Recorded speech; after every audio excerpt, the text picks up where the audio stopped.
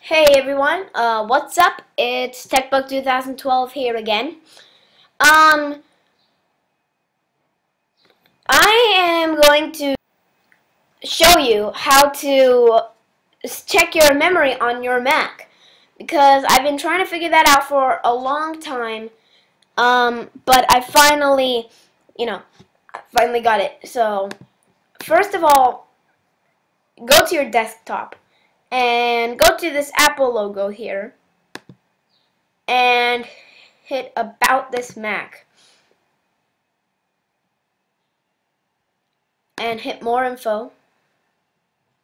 You notice something over here popped up. And uh, this shows you basically your processor and your memory. This is what we're focusing on and the graphics and the serial number and um, last of all the software.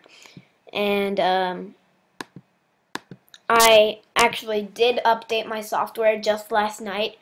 And the next time a software update is available I'm going to record it.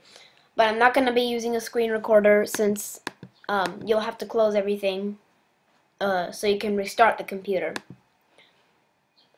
But this is what we're focusing on here the memory. And um, so this has 4 gigabytes and uh, I don't really know what this is. It's probably more into it. Um, but this is the main thing. I have 4 gigabytes on this. I know some people have sorry about that. I know some people have like 700 gigabytes so their computer won't get slow for a long time. Um, but I only have 4 gigabytes on it. And it also shows here a 13 inch late 2011 so it's the version right before the MacBook Air. So, but that's pretty much all I have for you. And you'll notice that my next video was also posted today. Um, because I was kind of behind on my videos, so I wanted to just catch up.